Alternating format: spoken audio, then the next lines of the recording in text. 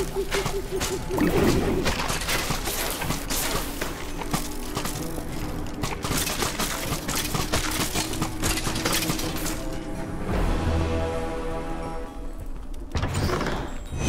villages are free from the clasp of the illagers, all thanks to you.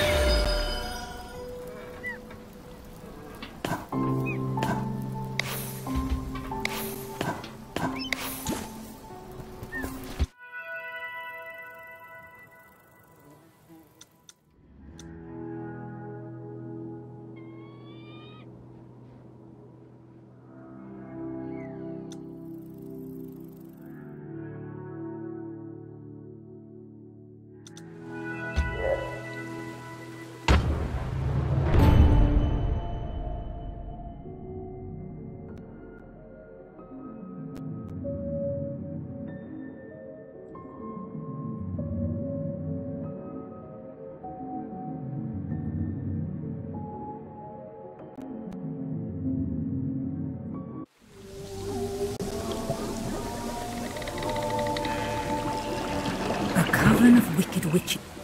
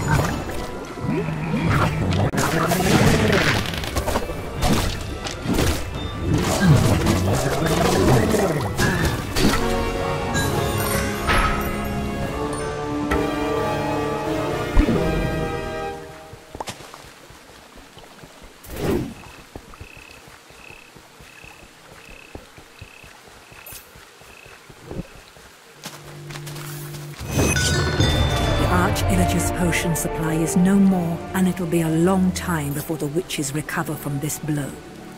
Well done.